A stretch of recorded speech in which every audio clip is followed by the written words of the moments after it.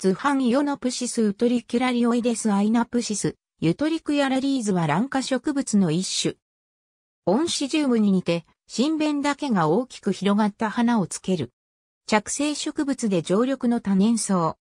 偽球茎は楕円型でやや扁平、長さは1から2センチメートルと植物体に比して小さい。葉は偽球茎の基部から2から3枚、二石球形の先端には1枚の葉身を持つか、二石球形先端に葉を描く。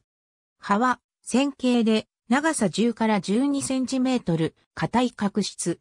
開花期は春から夏。花茎は二石球形の基部にある葉の内側から伸び出し、長さ30から50センチメートルと植物体を大きく抜き出て先端はやや垂れる。花茎は先の型で分子し、多数の花をつける。花径は1.5から2センチメートルで、額辺、側花弁はすべて小さくて、側花弁がやや大きいものの新弁より、はるかに小さくて目立たない。それらは互いに寄り添って筒状部となる。側額辺の基部は互いに融合して、額状になる。新弁は三列するが、側列辺は目立たず、中列辺だけが大きくて、先が大きく広がり、先端は、くぼんで、ハート形。褐色は変異があり白っぽいものから赤紫色まで、新弁基部は黄色くて、上面に小さな隆起が一体ある。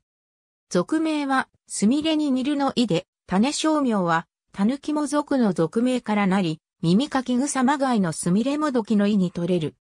フロリダ南部からメキシコ、パラグアイからブラジルに渡り、さらに西インド諸島、ガラパゴス諸島まで分布がある。標高1000メートルまでの冬に乾燥する落葉樹林などに生育。群落をなすことが多い。洋蘭として栽培される。丈夫で栽培も容易とされる。俗名の知名度は低いので、オンシジウムの名で販売されることもある。また、オンシジウムと除く間雑種をヨノシジウム、アイネスイディアムと言い、ポップコーンは、ルリなどは本種を交配用とするもので、花色がピンクから黄色に変色することで知られる。土橋 P256 斎藤 P36。ありがとうございます。